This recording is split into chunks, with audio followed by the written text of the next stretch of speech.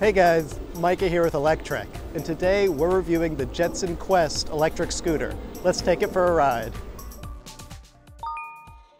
At just $499, the Jetson Quest is definitely a great deal. While it may look like many other electric scooters in the budget level e-scooter class, it has some nice features that help set it apart.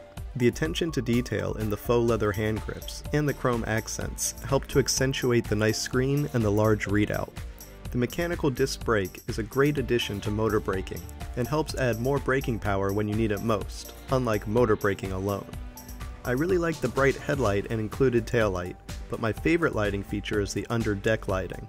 It may seem silly to some people, but at night it is perfect for drawing attention of drivers and even pedestrians that might otherwise step out in front of you. If you're looking to get noticed, the Jetson Quest will definitely do it for you. The scooter itself feels well built, though it doesn't have the smoothest ride of any scooter. The ride is pretty good, but the airless tires means that there isn't quite as much give when you hit bumps. For smooth surfaces like streets and bike lanes, it rides like a dream, but if you take it on bumpier surfaces, you'll feel it more. Again, not a deal breaker since it isn't terribly noticeable, but the scooter's just not as smooth as if it had air-filled tires or full suspension. But you can't get full suspension for under 500 bucks, and if you had air-filled tires, then you'd have to worry about getting flats.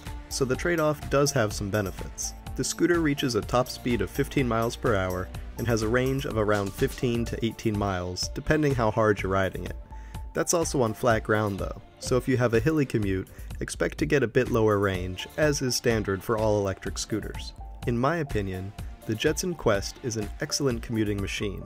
It's well built, looks great, and is easy to use.